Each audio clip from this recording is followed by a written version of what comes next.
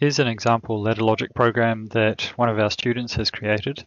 And there's just a little issue in here that I wanted to point out, which hopefully will help out everybody. It's to do with using the same address with multiple outputs. So that's on the right side here. We've got M1 as the address being used three times. And it seems like a good idea to some people when you're trying to achieve the same thing with each of these lines of logic. So in this case, it's three different lines and each line should be causing a different way to make this reset action operate.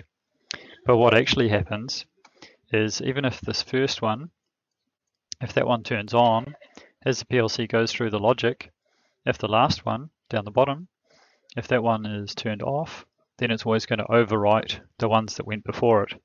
So it's actually only ever the last one in the line that is going to influence the status of this M1 when we finish this, the PLC scan cycle through this program. It's finished down here and in the next scan cycle it goes back up to the top. And on the left side we can see M1's used to reset the counter. So the way that this program's been made, it's only ever going to be this last one that's going to be able to reset the counter. A way to get around that, if I just grab a different color, a way to get around that is to use some different names. So we'll keep using M1 for the first output up there.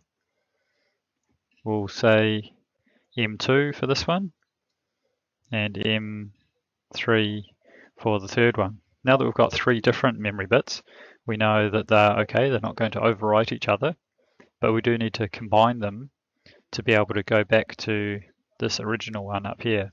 So let's call this now M0. It's going to be a combination of the 1, 2, and 3 that we did.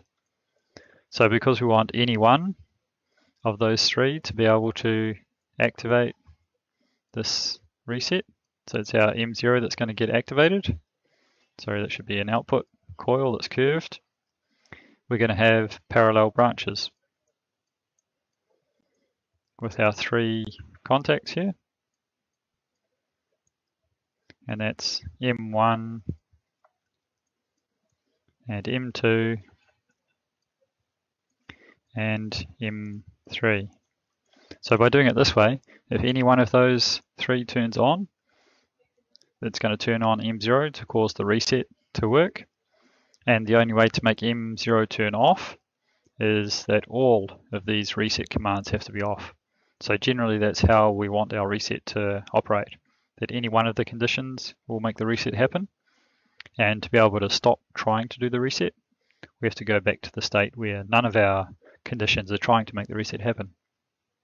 So it's a pretty simple change to make, to change the addresses of these ones so we can keep M1 and in here we're changing the number to M2, here we're changing to M3 and we just add one more line of logic at the bottom and you'd add in a comment as well saying this is my combination of three different reset commands to have one master reset at the end. So hopefully this quick explanation is enough to give you a hand, help you out about how to avoid these problems that you can get with your PLC ladder logic. See you next time.